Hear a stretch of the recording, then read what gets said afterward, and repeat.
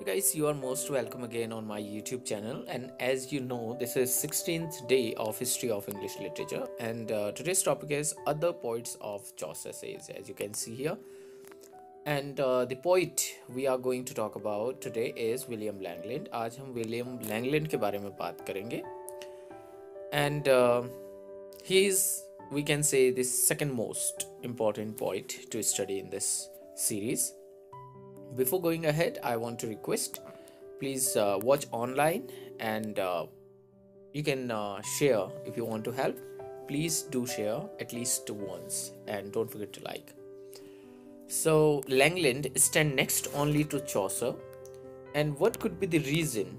See here, first reason you can see here, it is a picture of 14th century England, which in Piers the Plowman, he is, uh, you know, the composer or writer of Piers the Plowman little is known about his life we know only few things कुछ ही चीज़ें हम जानते हैं Langland के बारे में लेकिन ये श्योर जानते हैं कि उन्होंने पायर्स एंड प्लोमेन लिखा था the extent reference to him reveal as a poor melancholy man who was interested in the आयरनीज of life and not in the gay spectacle of life like चौसर उनके बारे में थोड़ा इम्पोर्टेंट जो है he was a kind of a poor melancholy man वो एक Mary and go type इंसान नहीं थे, जैसे कि हम चौसर को देखते हैं वो काफ़ी खुश मिजाज भी कैसे और gay spectacle of life he was Chaucer but he was a melancholy man he is known for the vision of William concerning Piers the plowman and short में हम इसे कहते हैं Piers the plowman short form of the work is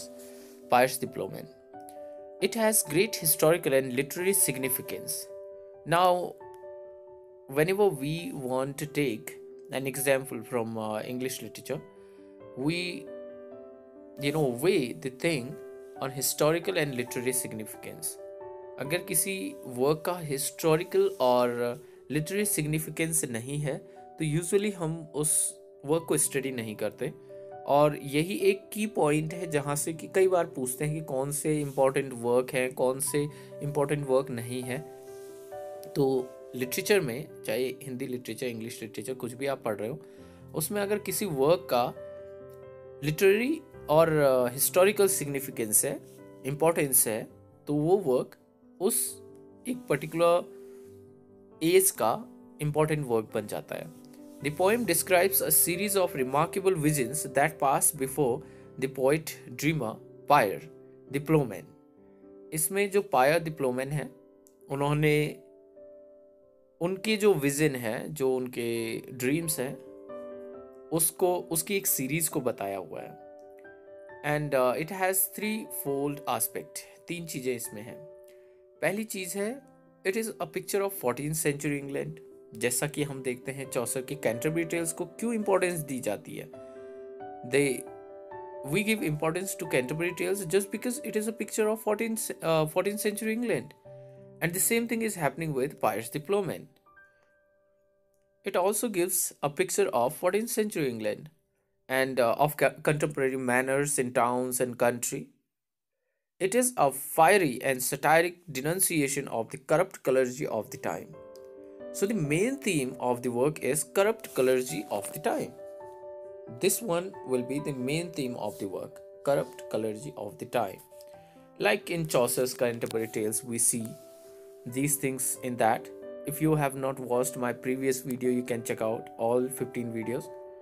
Then you should watch this one. It exposes the follies of his. As a satirist, Langland mocks at those who shun honest work the drunkard and the oppressor, the tradesman who cheats, and preacher who counsels one thing and follows another. तो कुछ चीज़ें उस time पे चल रही थी जो कि करप्शन चल रहा था हर जगह। उसके बारे में उन्होंने लिखा है। प्रीचर्स थे ट्रेड्समैन्स थे ड्रंकार्ड थे ऑपरेशर उस टाइम पे थे जो लोगों को अप्रेस करते थे दबा के रखते थे। Langland presents a vivid account of the suffering of common men and draws a sympathetic picture of peasant life. उन्होंने इसमें जो पीजेंट रिवॉल्ट के बारे में भी हम बात कर चुके हैं so picture of peasant life के उन्होंने शो की अपने इस वर्क में He envisions a better social and religious order. In his reformatory and moral pursuit, Langland is bitter and satiric. And in this respect, he differs from Chaucer, who is kind, considerate, and human. So, what is difference between Langland and Chaucer? Chaucer was kind, considerate, and human. Even he is uh, a satirist. उन्होंने satire लिखे लेकिन वो फिर भी उन्होंने एक kind perspective रखा अपना ह्यूमन पर्सपेक्टिव रखा लेकिन लैंगलैंड काफ़ी बिटर एंड सटायरिक थे this is the main difference. You can uh, have comparison. You can write down these things. Chaucer describes the rich much more fully than the poor and shows the holiday making cheerful general phrases of english life but langland pictures the homely poor in their ill-fed hard-working condition battling against hunger famine, injustice, oppression, and all these stern realities and hardships that tried them as gold is tried in the fire. तो आप देख सकते हैं you can see what is difference between Chaucer and Langland and if you are comparing these things you will never forget these two writers अगर आप Langland और चौसर को compare करके पढ़ रहे हैं तो मुझे लगता है कि आप काफ़ी सारी चीज़ें लाइफ टाइम के लिए याद रख लेंगे। अगर आप इसे सिंगल याद करेंगे तो जल्दी भूल जाएँगे। कंपैरेटिवली so, अगर हम पढ़ते हैं तो surely we we can collect more facts for a long time Chaucer's satire often raises a good humored laugh, but Langland is that of a man who is constant to speak out all the bitter truths. So Langland के बारे में आप देख रहे हैं कि वो constantly bitter truths को दिखाने की कोशिश कर रहे हैं Secondly, second thing of this work अगर हम देखें कि पहला हमने देखा कि ये पिक्चर ऑफ़ फोर्टीन सेंचुरी थी हमने देखा कि ये सटाया है बिटर ट्रूथ इसमें बताए गए हैं जैसी सोसाइटी दिख रही है वैसा उन्होंने लिखने की कोशिश की secondly it is an allegory on life the good and bad aspect of human nature strive for mastery The poet falls asleep and sees a dream, a sorry scene, a field of repentant sinner sinners drawn from every section of society. So who are sinners? तो जो sinners हैं वो कौन है जो कि इस corruption में जिनकी भागीदारी who are participating in it, who are doing corruption, whether those are preachers, saints, and uh, uh, oppressors, they all are sinners according to the work. They all are growing in a pilgrimage to the shrine of truth, but they do not know the way. Pius the appears on the scene and guides them.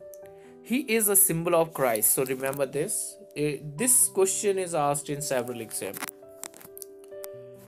He stand for virtue and righteous righteousness the person is पूछा जाता है कि जो पायस डिप्लोमेन है वो किसका symbol है तो क्राइस्ट का सिंबल है और वो जो है वो वर्च्यू और राइटियसनेस के लिए मतलब के प्रतीक है the person are for the most part abstraction with such name as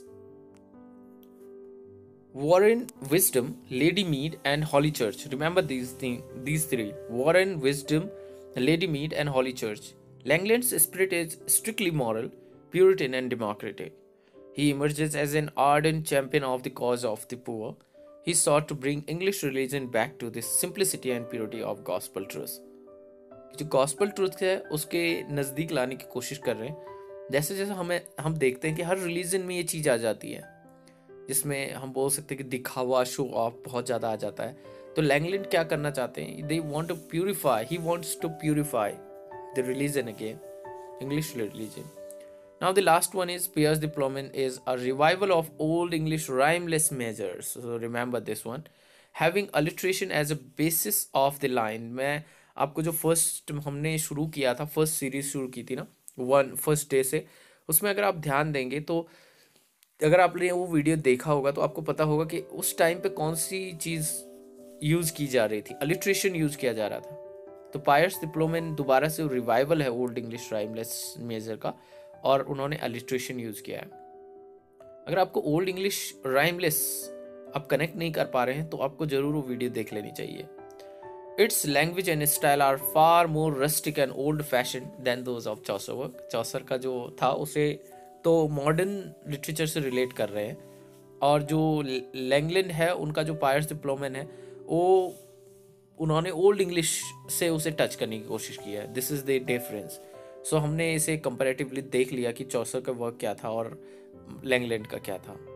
so so hopefully कि आपको ये वीडियो पसंद आएगा। If you like the video don't forget to hit thumbs up and don't forget to share at least once एक बार आप share ज़रूर कर लीजिएगा। अगर आपको ये सीरीज़ पसंद आती है और आप इस सीरीज़ को सपोर्ट करना चाहते हैं तो आप ये दो काम ज़रूर कर लीजिए। It takes only few few seconds Thank you for watching. Bye bye. Take care. Good luck for your exams.